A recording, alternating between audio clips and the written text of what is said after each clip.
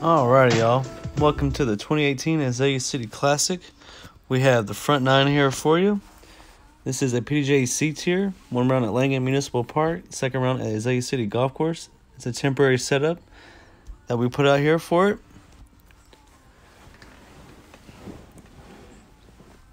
All right, we got Cameron Colglazier leading the tournament right now with 16 under, followed by Matty O, Chris Downey, and Cody Faircloth. All right, we're starting off on hole one here. 541 feet. This is the 12th hardest hole in the course. We got an OB left on the golf fairway, OB to the right over the sidewalk, and then the sand trap. And there's a Mando right off the tee box that you want to keep it to the right of. All right, so what you're going to want to do here is you want to play it straight up the middle, keeping it in this nice spot for you to have an easy approach to the pin. First up, we got Cameron Colglazier, sponsored by Prodigy Disc, local boy from Theodore, Alabama. Next up, Matt Orum, also sponsored by Prodigy Disc, right here from the Mobile area as well. These two players are top 10 or 15 in the world. We got number 7 and number 12, I believe. All right, next up, Chris Downey, sponsored by Full Turn.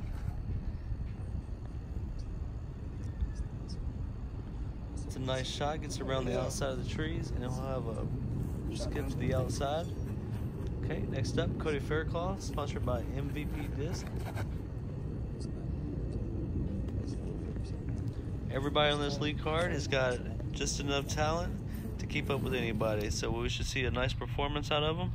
We'll have a tight battle, hopefully, to the very end. Okay.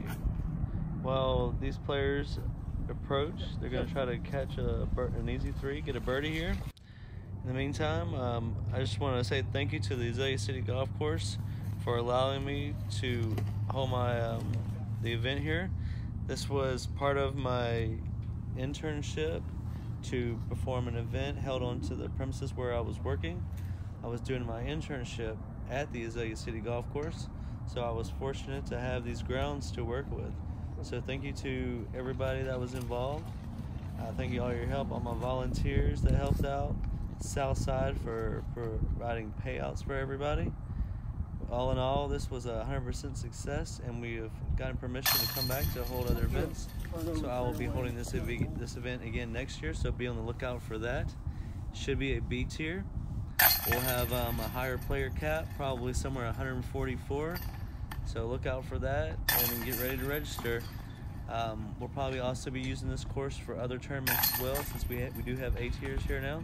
So y'all, uh, when you see Azalea City golf course on it, be sure you show up. All right, so hole two here comes in at 267 feet. This is a simple little righty hyzer hole. If you're lefty, you want to throw a forehand or a slow turnover shot toward the pin. This one's pretty self-explanatory. Let's see how these players do.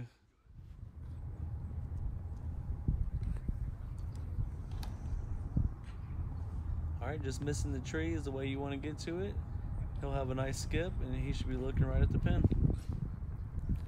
Matty O's going to follow suit. Since these two players throw um, the same company, it's easy for them to take a read off each other. They can see one player throw and pull out the same disc and do the same. And it helps uh, keep them going. Chris Downey, however, is going to take the more wider approach. He'll look for a big skip and he'll be right there. Okay, and all we need is Cody Faircloth to follow suit, and we should have a star frame here saying that everybody makes their putts at least. All right, Cameron Colbert is going to be the farthest out. We'll have a tester for birdie to start it off. Go ahead and count it.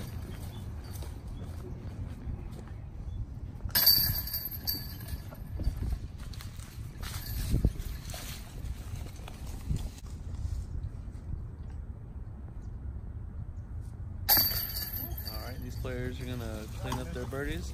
We'll be moving on to hole three.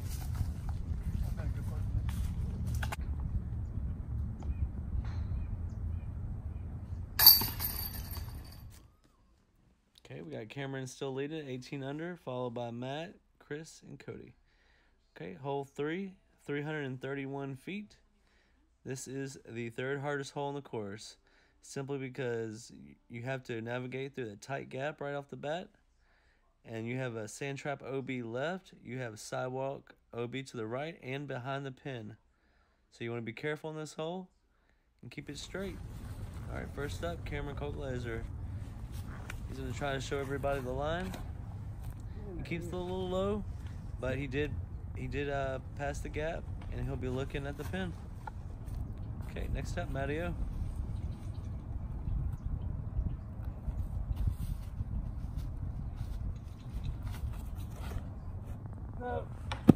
Mario catches a branch.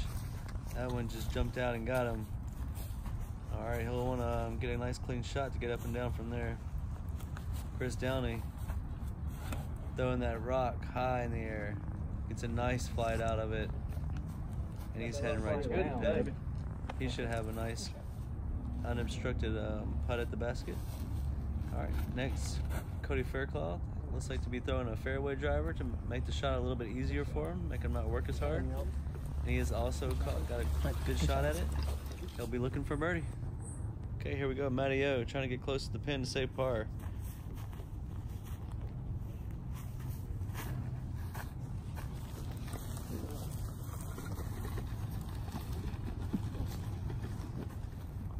All right, he'll be a little to the right there, but he should have a at least a clean look at it.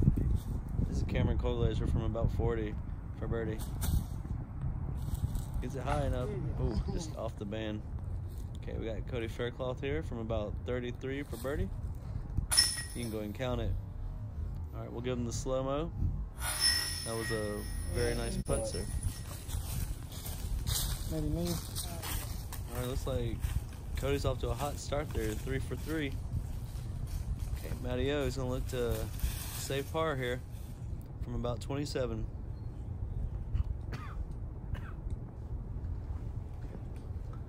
Just a little low. He's gonna want that one back for sure. All right, Chris Downey for birdie from about 22. A little high, but it's in. You can go ahead and give him the birdie for that one. That also puts him three for three.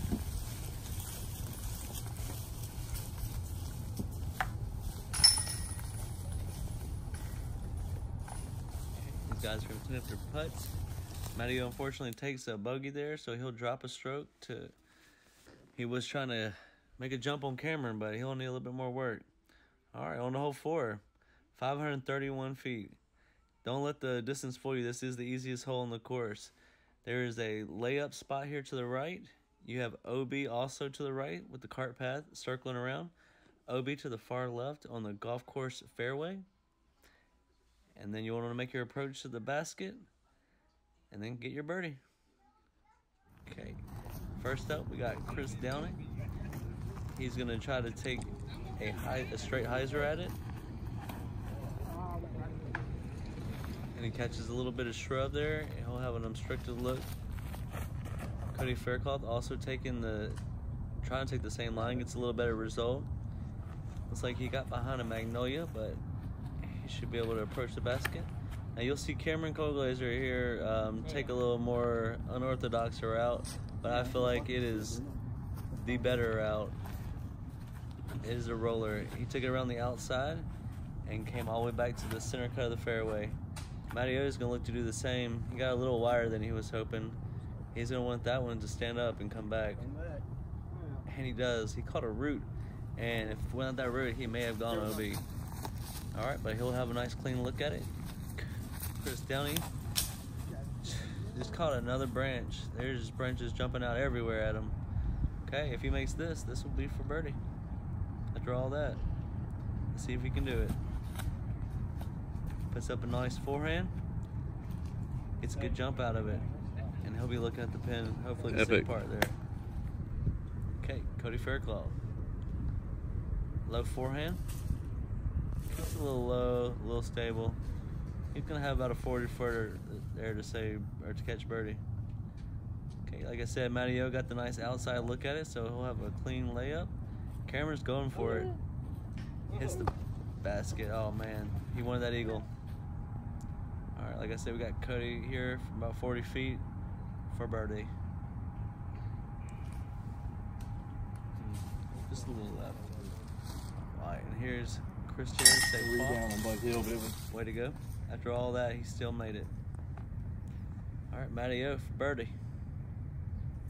There you go. Count it. All right, well, we'll let these guys clean up and we'll move on to the next hole.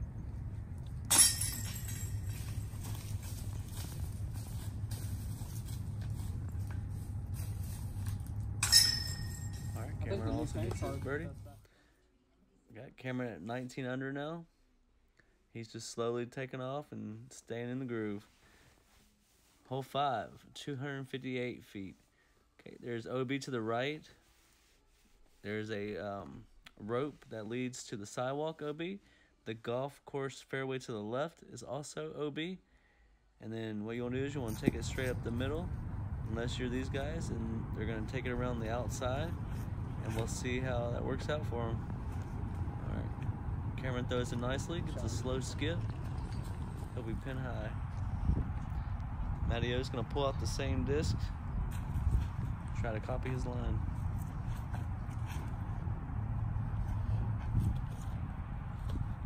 Just missing the tree. It's a nice skip there. Way to go.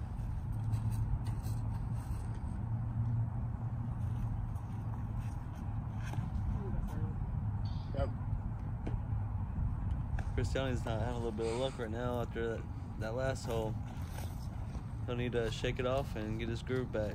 While Cody Faircloth takes the hyzer approach.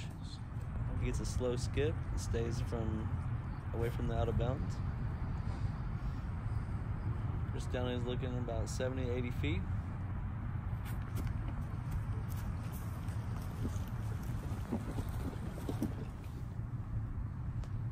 All right, we got Cody Faircloth here from about 35. Puts it in. It's a nice birdie.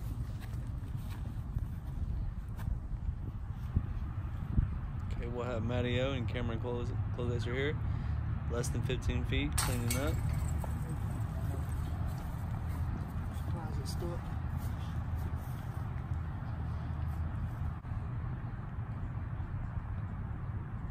All right, puts it in. We're moving on to the next hole.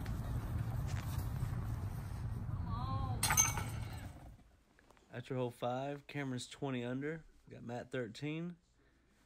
Chris and Cody following suit.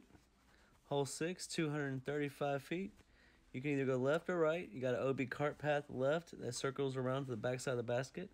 Fences OB. And on the right side of the fairway, there is an OB line that takes from the cart path on the backside of the golf putting green. Cameron's going to try to take the forehands and catches the fence, stays in bounds. All right. To righties, this would be more of a traditional route. I feel like this is more of a tougher route because you got to keep it low and make it skip really tight. Cody Faircloth's got the right idea, keeping it low and keeping it tight.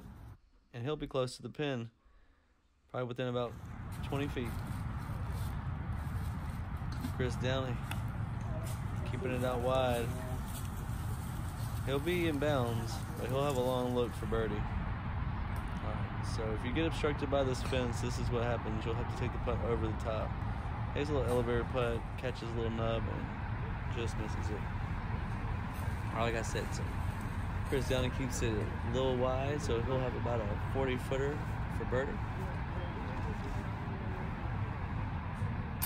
Count it all day. Gets the slow mo.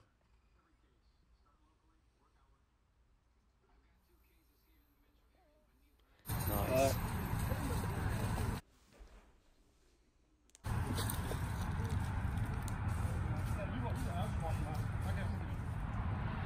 Okay, Matty O's been a little long. He'll be obstructed just a little bit by the tree. Hmm. Catches the wrong side of the chains and bounces out. Okay, we got Cody right here from about 20 feet for birdie.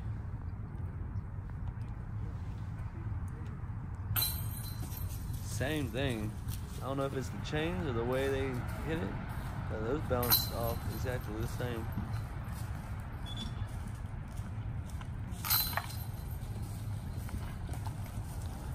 All right, again, I want to thank everybody who donated a basket for this tournament. Man, that was awesome. Without y'all, this would have never happened. So I gave it out to y'all. All right, so this is a fun little hole, hole seven. It's a tunnel shot. We got OB left over the fence. There's a cart path running right, OB, 247 feet. This is the fourth hardest hole on the course, believe it or not. It's the shortest hole, but the hardest, fourth hardest hole. All right, so players who want to take a nice, stable or straight to understable putter to mid-range and try to just keep it flat. Downey's gonna bounce off a tree and kick to the wrong side of the fairway. Next, Cameron Colglazier looks to be throwing a mid-range. Gonna keep it tight, throw it hard, and let it hyzer back. All right, so he hits the backside of the tree, but he's inbounds and he's looking at the pin. He'll have about 35 for birdie. Matty O's gonna follow suit.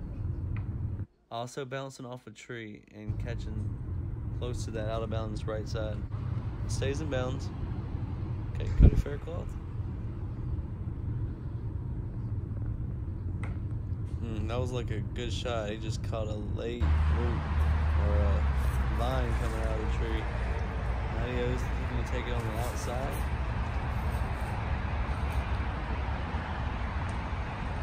Off the cart path and brings it in bounds. We'll have a close look for par. Down, just laying it up. Make sure he gets close enough to be able to tap it in without any problem. So Cody here looking for birdie. Catches the early tree. We'll have another 40 feet here for par.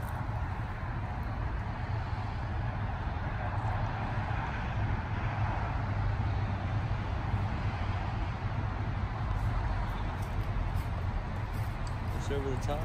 We'll have um, a short putt there for bogey. Cameron Colglazier from about 35 for, for birdie. Did you doubt it? No. Give him the slow mo. Only birdie on the hole. Probably only birdie of the day, from what I heard.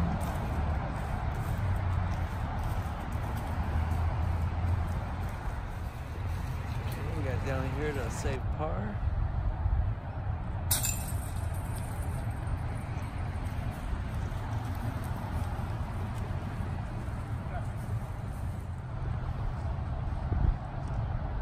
Okay, this will be Cody for bogey. Right, in. He's not going to be happy about it. But he'll move on to the next hole. And just shake it off. And this is where Matty landed. After his upshot, he was inbounds. And this will be for par. Nice, you guys are going to clean up, move to the next hole. After hole seven, you got Cameron at 21 under now with Chris trailing at 14. Okay, this hole, hole 8, 269 feet. This is the fourth easiest hole on the course. For lefties, it's going to be a simple hyzer. For righties, it's going to be a forehand. We're going to be looking to see some great shots on this hole. Everybody will be ace running. Cameron up first. We'll have a nice shot at it. He'll just to the right pin high. Down.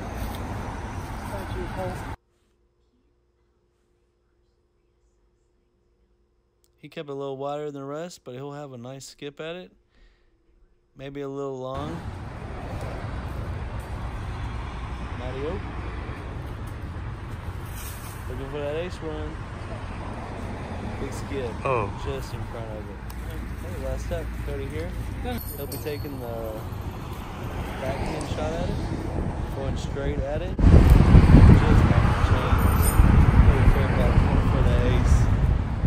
Alright, and he was ace running, so he was a little far. But that don't mean anything. Count the birdie. Give him one.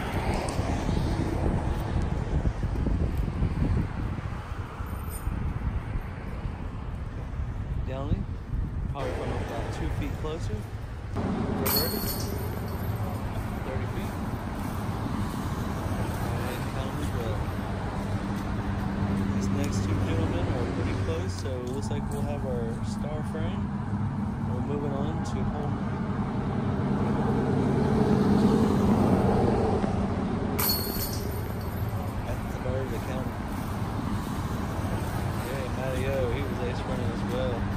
Great. I'm sure he had a good run at it.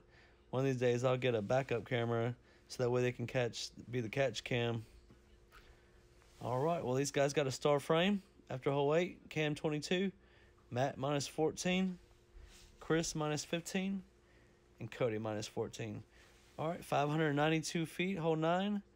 This is the seventh hardest hole in the course. There's a Mando right with an OB line that takes you to the golf fairway on the right side. There is a line on the tree line on the right side of this fairway, blocking you from going out to the golf fairway at all. All right, so what you're gonna do is you're gonna try to turn the shot over, carry as long as you can, and then make your approach to the pin. This is a par four, so they're gonna want to catch a birdie here.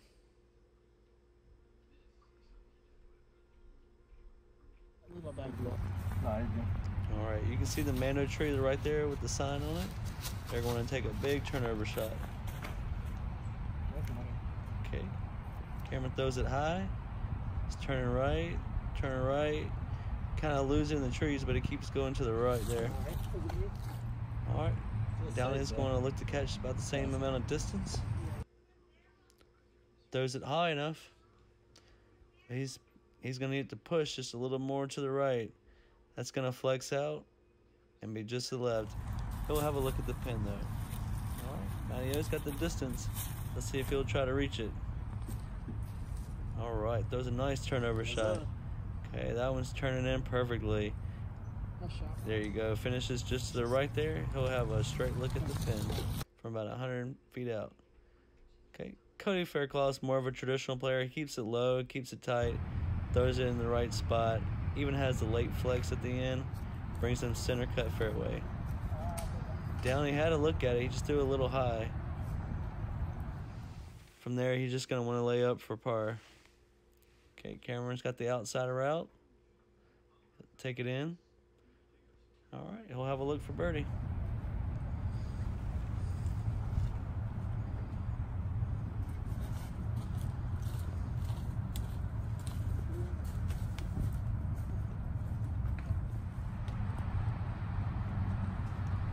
All right, Matty O also gonna be laying up, to catch an easy birdie here. He had uh, a nice drive off the tee. So when you have a nice drive, it makes for an easy approach.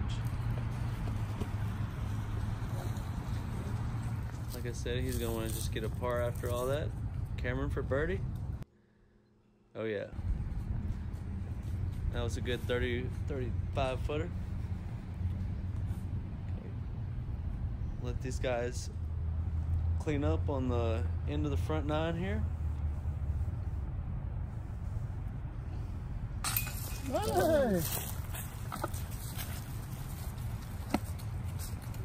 Last up, we got Matty O and Cody Faircloth going to tap out.